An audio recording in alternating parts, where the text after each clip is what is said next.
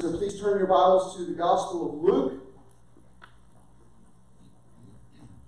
If you're new to the Bible, the Gospel of Luke is one of the four biographies written about Jesus. You can find it in the front of your Bible by looking up at the table of contents.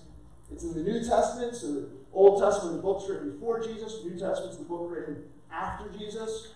And it's just three books in Matthew, Mark, and Luke. We're going to be in chapter 8, which you can find by looking for the big number. We're going to be reading verses 1 down through verse 21. And again, as you turn there, uh, just so you know, we're a church that encourages questions, that encourages exploring, um, encourages even expressing doubts and lack of understanding about things. And so, if you have any questions that come up during the sermon, there'll be a number on the screen. You see it at the top there. Please feel free to text them in. Um, I'd love to try to answer them on, on, on our church blog later on. Um, happy to even get together with you one on one and have a back and forth if you want. Um, please uh, don't just have a question, but share your questions so that we can find truth through God. We've been going through this, this series in the Gospel of Luke that we're calling Jesus Unfiltered. And we're calling it that because Luke wrote this uh, just a few years after Jesus left the earth. And he wrote it based upon eyewitnesses' accounts of people who actually spent time with Jesus. And so, as we go through Luke, really what we're seeing, we're seeing Jesus as he truly is. Jesus stripped away from all that you know organized religion and tradition has added over the decades. This is Jesus unfiltered. And today we're going to be reading verses 1 all the way down through verse 21. And it's a long portion of Scripture. So, to help you keep track of where we're going and to see how these different things connect together, I want you to pay attention to this word. We're going to see it 10 times in these 21 verses. And the word is here. The word is here. Whenever you see a word being repeated in the Bible again and again and again, it's God saying, hey, pay attention to this. These things are meant to be seen together. They're meant to drive a point home. And so 10 times in these 21 verses, we're going to see that word here. And that's what these word is this section of scripture is really driving at. It's driving at hearing from God. And so verses 1 through 3, we're going to see how even unlikely people can hear from God. In verses 4 through 15, we're going to see, well, the problem, though, is that we can also hear other things at times. In verses 16 through 18, we're going to see how to cut through that noise. And then finally, in verses 19 through 21, we're going to see why hearing matters. Why hearing matters. And so let's turn our attention to God's Word. I'm going to read this section in its entirety and then pray. God's Word says, Soon after he, meaning Jesus, went on through cities and villages, proclaiming and bringing the good news of the kingdom of God. And the twelve were with him, and also some women who had been healed of evil spirits and infirmities. Mary called Magdalene, from whom seven demons had gone out, and Joanna, the wife of Chuza, Herod's household manager, and Susanna, and many others who provided for them out of their means. And when a great crowd was gathering and people from town after town came to him, he said in a parable, A sower went out to sow his seed. And as he sowed, some fell along the path and was trampled underfoot, and the birds of the air devoured it. And some fell on the rock, and as it grew up, it withered away because it had no moisture. And some fell among thorns, and the thorns grew up with it and choked it. And some fell into good soil, and it grew and yielded a hundredfold. And as he said these things, he called out, He who has ears to hear, let him hear. And when his disciples asked him what the parable meant, he said, To you has been given to know the secrets of the kingdom of God. But for others, they are in parables, so that seeing they may not see, and hearing they may not understand. Now, now the parable is this the seed is the word of God. The one along the path of those who have heard, and then the devil comes and takes away the word from their hearts, so that they not believe and be saved. And the ones on the rock are those who, when they hear the word, receive it with joy. But these have no root. They believe for a while, and in time of testing fall away. And as for what fell among the thorns, they are those who hear, but as they go on their way, they are choked by the cares and riches and pleasures of life, and their fruit does not mature.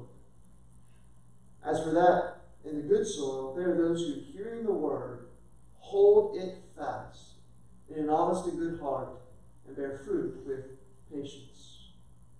No one, after lighting a lamp, covers it with a jar or puts it under a bed, but puts it on stands that those who enter it may see the light. For nothing is hidden that will not be made manifest, nor is anything secret that will not be known and come to light. Take care then how you hear. For to the one who has, more will be given, and to the one who has not, even what he thinks that he has will be taken away. Then his mothers and brothers came to him, but they could not reach him because of the crowd. And he was told, Your mother and your brothers are standing outside desiring to see you.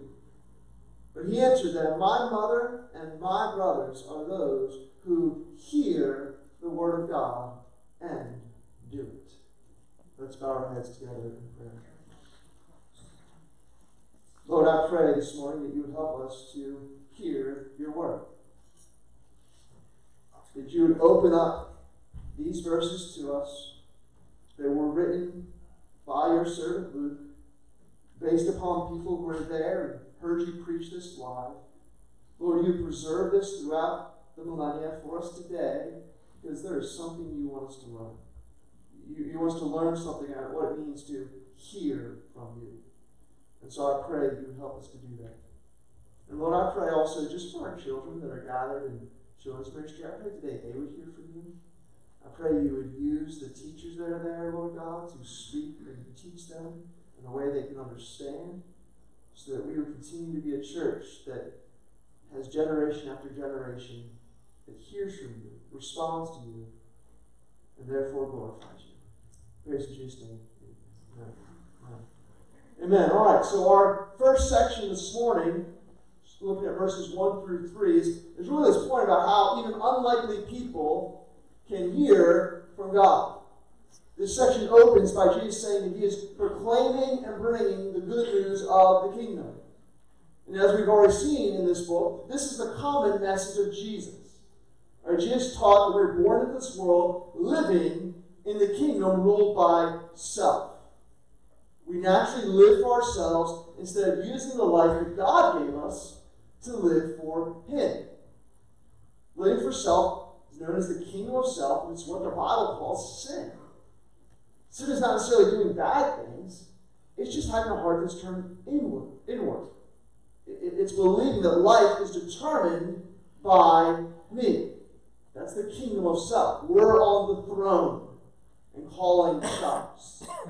But Jesus' message is that he came to bring the kingdom of God, to take us out of the kingdom of self and bring us into his kingdom where we now serve him as king. And he says this is how our souls actually find true liberation. Because the reality is, we weren't made to live with ourselves in the center of our lives. We weren't made to sit on the throne of our hearts. We were made by God to glorify God, to seek to honor Him through how we follow His ways. And so the kingdom of self is actually a kingdom of slavery. Because when we're at the center, we weren't created to be there, and so we'll never be fulfilled by being that. And so we go from thing to thing because we always feel this emptiness inside of us, looking to fulfill us through different acts. And it's slavery, it's a constant sense of being driven. But the kingdom of God is where we experience what we were created for, it's where we experience freedom, it's where we experience liberation as God becomes the center of our lives. This has been Jesus' message. It's been the good news of the kingdom of God, that He has come to bring God's rule to any who have faith in Him. That, that's why it's called the good news of the kingdom. The kingdom is for every anyone, even those who are unlikely. The unlikely nature of those who come to know this good news is pointed out in these three verses. We are told that as Jesus is preaching this good news, he has the twelve with him. Let's remember who the twelve are. These are the 12 men that Jesus chose to be his apostles, the, the people who would be the foundation for his church. Here's who Jesus picked two brothers who were so out of control with their anger that they were called the sons of thunder. You had one person who was a tax collector, which was a profession where you extorted people for money. The scummiest of the scum. State sanctioned crooks. The rest were mostly fishermen, which was not exactly a prestigious job, not usually the place you go looking for talent. This is a ragtag group of guys. But through choosing them, Jesus is communicating something. He is communicating that he didn't come to the people who have it all together. No, Jesus came to, through his power, use messed up people who were radically changed by God to then be deployed into the service of God. Right? That's what Jesus is doing. These disciples were, were messed up people who were radically changed by God to then be deployed into service for God. He didn't come to put together, Jesus came to put people together. And as he is proclaiming and bringing the good news of his kingdom, with him all the time is living proof of those who can testify to the goodness of this good news. These men had, had heard Jesus' message and they had responded, because even the unlikely can hear from God. But this theme continues as we look at the other names who are listed. Verse 2 says that also some women were with him. And we just need to pause there because that's unusual in and of itself. In ancient times, it'd be somewhat common for, for men to latch onto a teacher and follow him and learn from him. But that was something that women were actually not allowed to do. It was a very oppressive culture towards women. And so the fact that Luke is even mentioning women here is shocking. This would have raised eyebrows for his original audience. What? Jesus is speaking to women? This is not something that was done in ancient times. But Jesus isn't bound by the times. Jesus is the eternal God, and he knows that he created men and women equally in their value, worth, meaning, and purpose. And so Jesus didn't just have men as his disciples, he had women who followed. And not just any women, but here's who these women are. Some women who had been healed of evil spirits and infirmities. And he names one specifically Mary, called Magdalene, from whom seven demons had gone out. Now, in a few weeks, we're going to drill down a little more specifically about what it means to have a demon in you. Uh, but for now, just know this this is not a good situation. She would have been known as one of the worst of sinners. Her, her specific sin isn't mentioned. Historically, people thought maybe she's a prostitute. The Bible doesn't actually say that. But it does say that she was definitely known as a sinner because she had these demons in her. And yet she had been delivered and saved by Jesus. So you have a woman who is demon possessed. Then you have kind of the exact opposite end of the spectrum. You have Joanna, who's the wife of Chuza, Herod's, uh, Herod's household manager. All right, Herod was the king of Israel. What Rome would do is when they go in, they would conquer people, but then they knew the best way to kind of keep those people at peace and paying their taxes always gets back to the money. Uh, the best way to get the most money out of the people was to put a king over them that was from them. Right? And that's who Herod was. He was a Jewish man who was king of Israel. And so he was one of the most powerful people in Israel. And his household manager would have been in charge of all his affairs. And so Chuza is a very high ranking individual. You know, think of like a, a chief of staff. That's, that's the stature this person had. And so his wife would have had power, would have had prestige. Total contrast from Mary Magdalene. And, and then you have Susanna, who's a total nobody. This, this is the only place in Scripture she's mentioned, and nothing else is given to us except her name. And so think about what's being represented in these specific women who are being mentioned. You have a demon possessed woman, a prestigious woman, and an obscure woman and all have heard and responded to Jesus' message of the kingdom of God. And so, friends, we are being taught something through these names. We're being taught that anyone can get into this kingdom. The kingdom of God is not based on race, is not based on socio-economic background, is not based on being a good religious person is not based on gender. No, anyone can get in, no matter how unlikely, if they hear and respond to this message of Jesus. You know, in our culture, we're constantly creating different strata of people, different categories that we can put people in. So, in order to be welcome in certain contexts, you need to act this way, or come from this background, or have this type of skin color. Jesus blows past all that. You know, he has men and women. Both are welcome. Powerful and obscure. Both are welcome. Prestigious and sinful. Both are welcome. All are welcome into his kingdom. Anyone who hears him can come to him. These people are all unlikely, but it's the likely people that Jesus came for. And so here's a question that the text asks us at this point Who's unlikely in your life? Who's the person that you think will never respond to God? I think one of the biggest things that gets in the way of the message of Jesus getting out is our lack of faith that people will respond to it. We think people are unlikely, and so we don't even bother to share. I can do that. I have done it. You think this person, man, they have it all together. What need would they have for Jesus? I don't even know how to like, begin to address that. Or, or, or, or, you, or you think, man, this person's just too far gone. and They come from such a different background. There's no way they could ever turn from all they've known their whole life. Friends, we need to hear this text speaking to us. No one is too high, and no one is too low, and no one is, comes from a certain background, and no one is beyond the reach of God. We need to stop putting limits where God says there are none. Maybe you're here today and you would say, Well, the only likely person I know is me. I feel unlikely.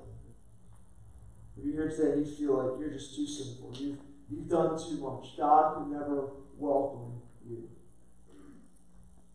I hope you hear God saying something to you through this text this morning. He has you here precisely because He wants to welcome you. Maybe you're like, man, I've come from this background. This is all new to me.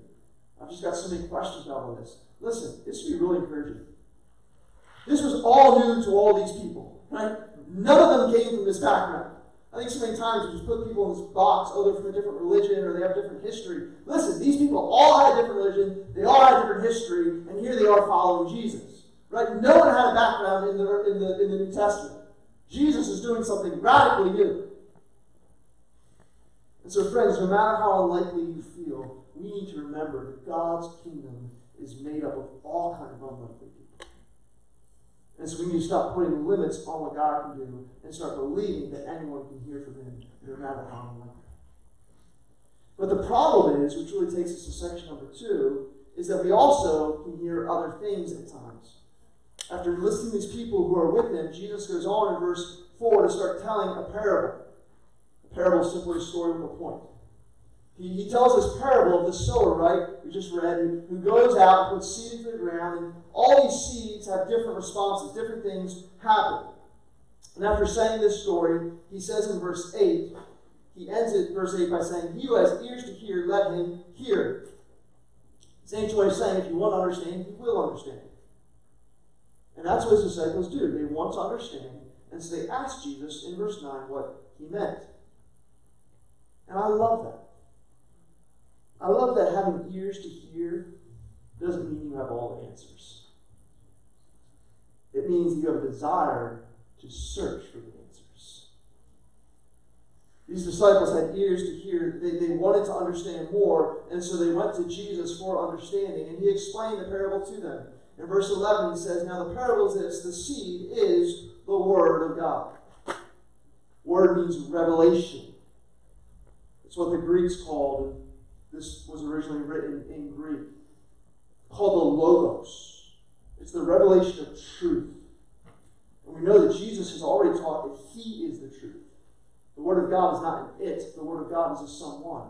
Jesus is the Word of God, Jesus is the truth. And so the sower is the one who shares about Jesus, who, who sends his word out. And, and as we see this, here's what we have to get right out of this gate. As we look at the different responses, the different kinds of soils and what happens, we need to notice there's different responses to the word, but everyone in this parable heard the word. Did, did you see that being repeated again and again? This person heard the word, this person heard the word, and this person heard the word. Listen, they all had the same experience. They all heard the word. Their problem was not that they didn't hear, was not that they didn't get given the information. No, their problem was they also heard something else. It wasn't that they didn't hear the word of God, it was that they chose to listen to other voices. Here's the first voice given in verse 12. The one along the path are those who have heard, and then the devil comes and takes away the word from their hearts, so they may not believe and be saved. Now, at first glance, I'll be honest, this seems a little unfair. Great, yeah, the devil took the seed away before they even had an opportunity to respond. That doesn't seem very fair to them. But we have to notice why the devil is able to take the seed away. It says the seed fell on the path. We don't live in ancient Israel, so this might not be readily apparent to us. But a path is a terrible place to sow seed, right? No farmer goes out and tries to put seed into a path. Because what makes a path a path is that it is hardened ground. Right? You see a path through grass or, or through the sand, it's the place where people walk over and over again, and the ground has become stamped down and hardened. Hardness is what makes a path. And so, what Jesus is saying here is that the reason the seed doesn't get into the people's hearts, but is left out for the devil to pluck away, is because their hearts are already hardened. Here's what we have to understand, friends the devil never creates opportunity, he just takes advantage of opportunity. The opportunity for the devil to come and take the seed away was given because the people's hearts were already hardened like a path. And if you're familiar with the Bible, that word hardened is maybe beginning to, to ring a couple notes for you. One of the most famous stories that talks about the hardness of heart is the story of Moses and Pharaoh. Right, when Moses comes to the king uh, of, of Egypt, the Pharaoh, and says, Hey, let my people go. What gets repeated again and again? Despite all the signs and miracles that that person sees. Again and again, it says, Pharaoh hardened his heart. He didn't want to listen. And that's what Jesus is saying. Some people are like. They don't want to hear. Not because they aren't given the message, but because they don't have any desire to listen to the message. Because they don't want to give up self rule. And so they have no desire to be soft towards God, hard hearted towards God, so that they continue to be justified being inwardly turned towards self. That's the first group. It's, it's the hard hearted, the people who only listen to self. Here's the second group. It's given in verse 13. And the ones of the rock are those who, when they hear the word, receive with joy, but these have no root. They believe for a while, in time of testing, they fall away. And so you see what happens? These people receive God's word, take it in, but then the times of testing come.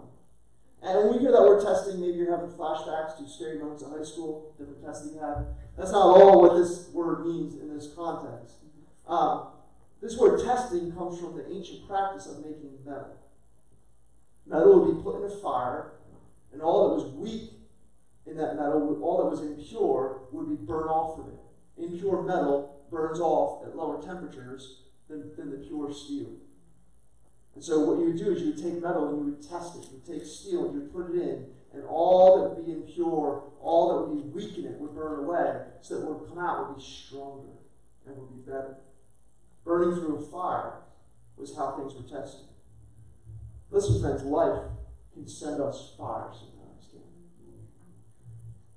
Think of the pain of personal tragedy. In those, in those times of being under fire, there can be a crisis of faith. We can ask questions like if there's a God, why would he allow something like this? It's a very hard question. I personally asked that question at various times in my life. I think some of life's most painful questions are why God allows so much pain. And there are answers to that, answers that I preached on many times before. But they are hard questions.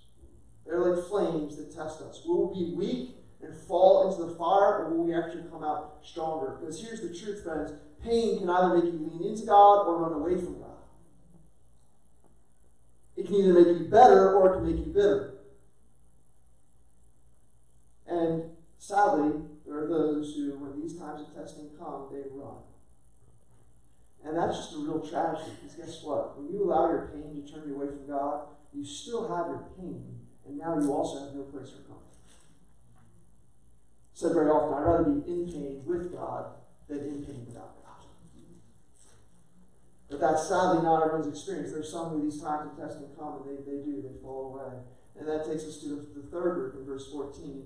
As for what fell among the thorns, they are those who hear, but as they go on their way, they're choked by the cares and riches and pleasures of life, and their fruit does not mature.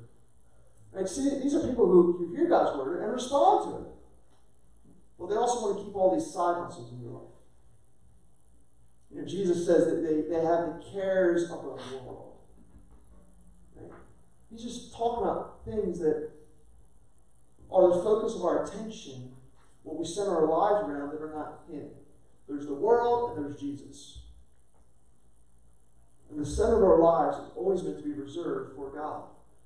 Well, if we put something else at the center and still try to keep Him as a part of our life, but not the center of our life, eventually what is at the center will choke out our love for God. It'll be like a thorn that gets nourished. And okay, so you have the, the plant growing up, but you also have this other thing growing up, and as it does, it chokes out the plant. To illustrate this, Jesus uses the example of money. Right? He talks about riches. Few things reveal our hearts more than how we use our finances. Right?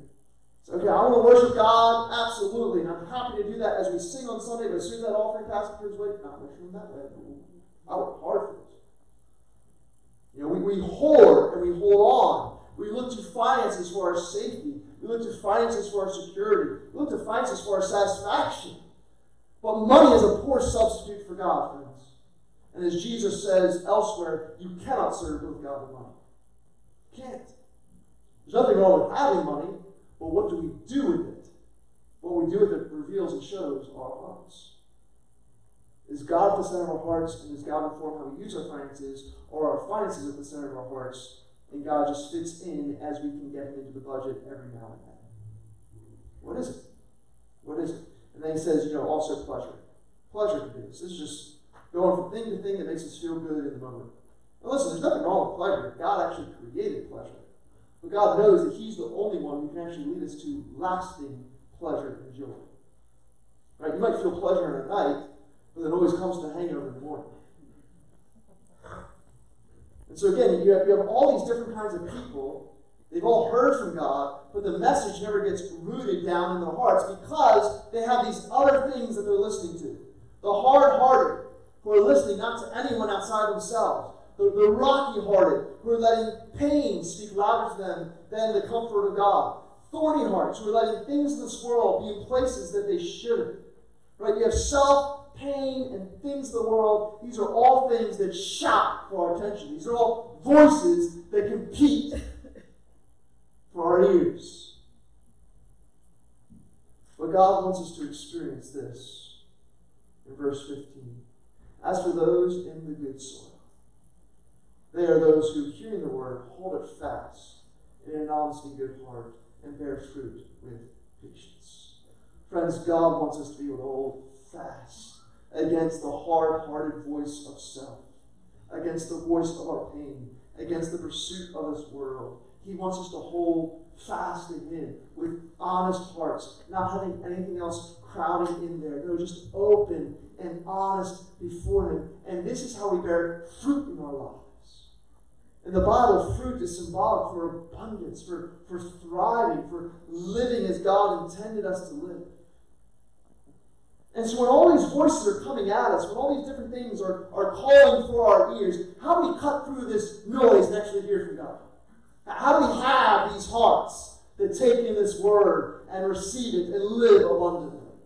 That takes us to section number three, how to, how to cut through the noise. This is what Jesus gets into in verse 16. He says, No one, after lighting a lamp, covers it with a jar or puts it under a bed, but puts it on a stand so those who enter it may see the light. I grew up with this little song, This Little Light of Mine, I'm going to let it shine, right? And there are other parts of the Bible that talk about how we need to let our shine, light shine to others. But this is why we need to be careful, friends, and, don't take a little song you heard or another part of Scripture make you think you understand this Scripture. Because this Scripture is not at all talking about our light. That's not, it's not the light that needs to shine here.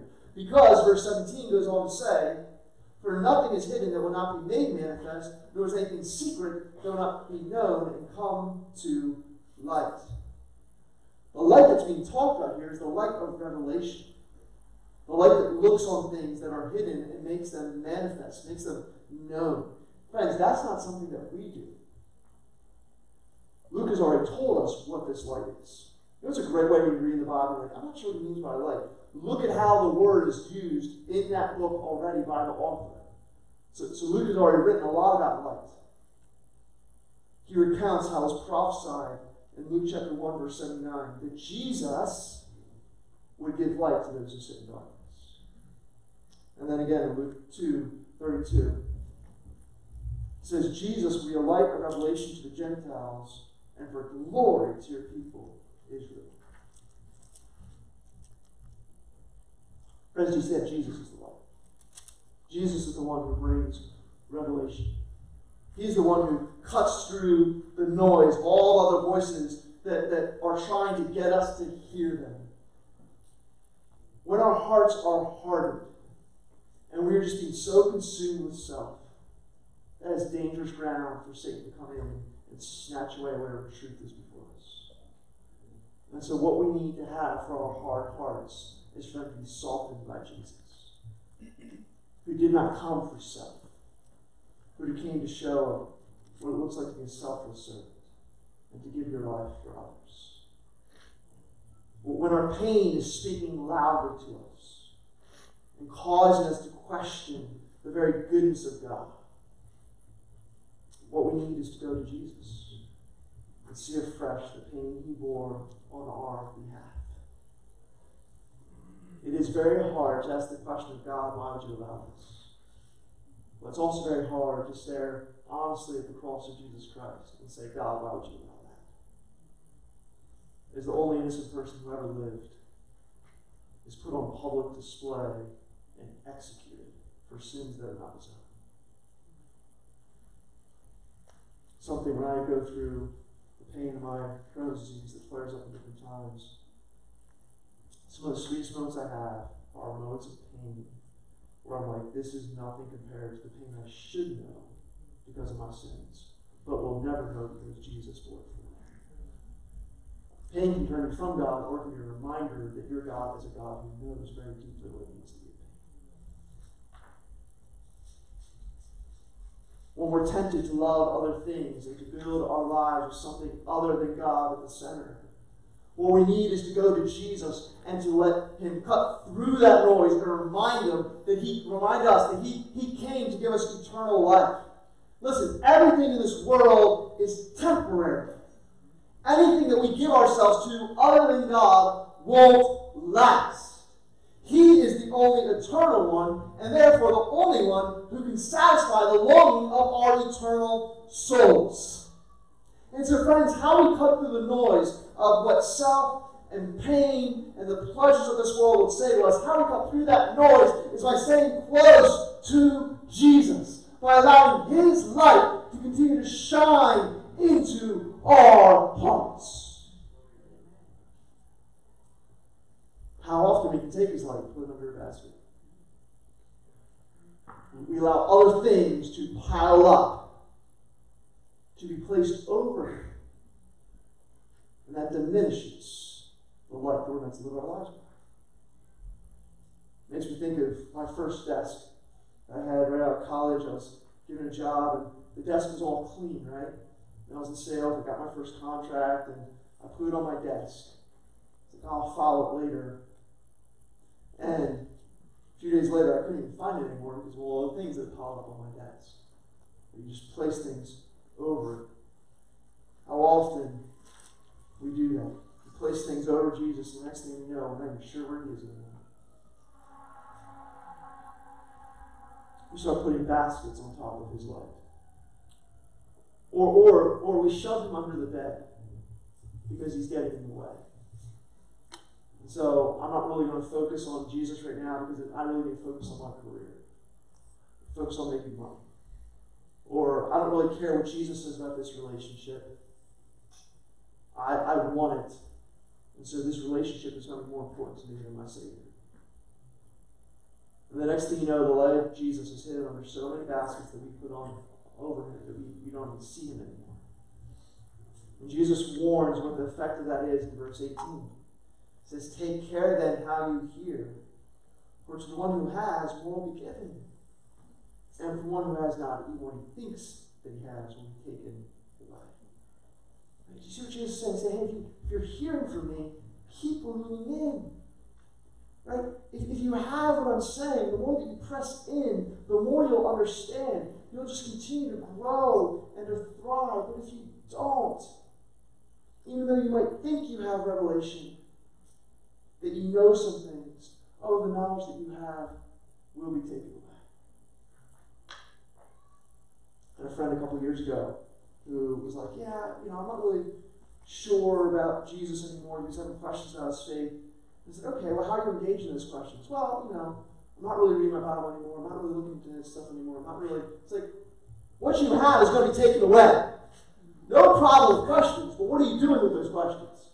Do you actually have ears to hear, or are you just, yeah, I don't, I don't want this anymore? Big difference between having questions that you generally want answers to and having desires and how you think God should be, and when he doesn't fit in your box, you just move on and look for a different box. Friends, how we cut through the noise is by keeping Jesus as our light. Living our lives as followers of Him. Listening to what He says and allowing Him to be the revelation, the truth that we base our whole selves on. And here's why it matters. This is the last section. Jesus lays out why it matters in verses 19 through 21 through this interesting episode. His, his family's trying to get him to see him. But Jesus does something really shocking. Instead of letting them in to see them, he actually uses this as a teaching moment. And listen, it's, it's not because Jesus doesn't care about his biological family. You know, we know he had great affection for his family, particularly his mother. We see that even at the cross. But Jesus uses this as a teaching moment, as he says in verse 21 My mother and my brothers are those who hear the word of God and do it. See, Jesus is teaching us that biological family is one thing, but spiritual family is something totally different. And Jesus is identifying his true family, not as those who are biologically connected to him, but those who are spiritually connected to him. That, that, that's real family. And how do you know if you're really part of that family? How do you know if you're really connected to God in that way? It's not just by people who hear, who are around in the crowd, but it's by people who are doing and putting what he says into action. Right? Jesus is teaching that someone who is truly part of his family will want to bear the family resemblance, will want to live in accordance with the Heavenly Father's ways. That's who's in the family. And that's why how we hear really matters. Listen, we can sit in church services. We can go to Bible studies. We can watch preaching and teaching online. The, the opportunities to hear really are endless. But are we actually hearing according to how God defines it? Are we just gaining knowledge? Or are we learning how to apply it to our lives? Do we care about applying it to our lives? Are we letting what we're learning about God shape who we are? I ask this question often. But it's the question of when was the last time something in your life changed because of something you heard from God's Word? Friends, that should be our ongoing experience as Christians. Right? I don't know person here who has it all figured out. I certainly don't. And so the question I constantly ask is, how is my life changing based on what I'm hearing here? We should be asking weekly, if not daily. Because we're people who constantly need change. Are we growing in the family resemblance? Or are we just spending time around the family?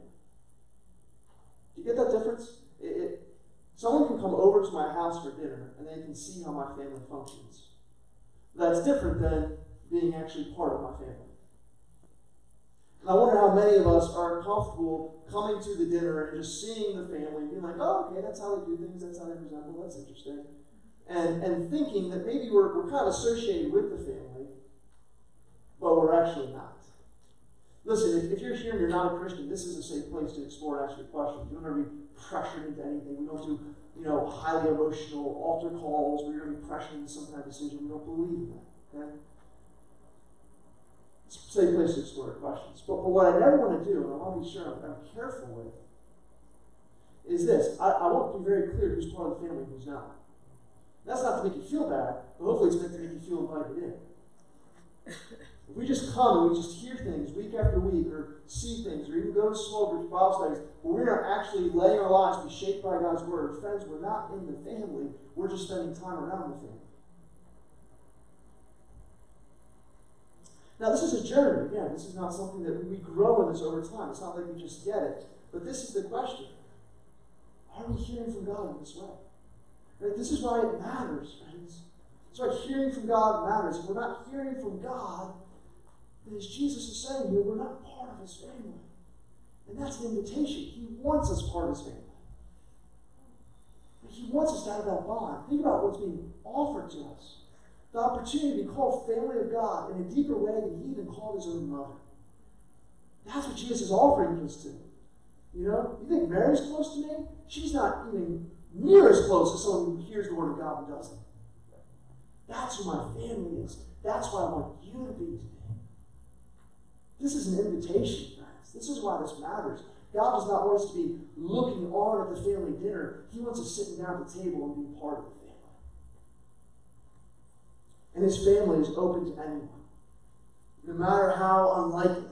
Right? Point number one even unlikely people hear from God. His family will always have other voices trying to draw us away from him. Point number two. But Jesus is our light that cuts through all that noise and keeps us centered. Point number three. And so, friends, point number four, let's make sure we're hearing from him. Let's study His Word, apply His Word, and commit to doing His Word together as a church family. Let, let's, let's hear from God. And as we do, oh, let's get excited about the amazing things that He wants to do here in South Philadelphia for His glory. Let's pray.